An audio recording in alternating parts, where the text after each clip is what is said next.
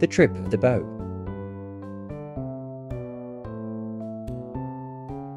Start your trip by walking your bow like you were dragging your suitcase at the airport. Lift your bow upright and move it forwards like you were showing your passport. Time to fasten your seatbelts. Fly the bow high in the air. Make some turbulence and shake your bow. Keep the right bow hold at all times.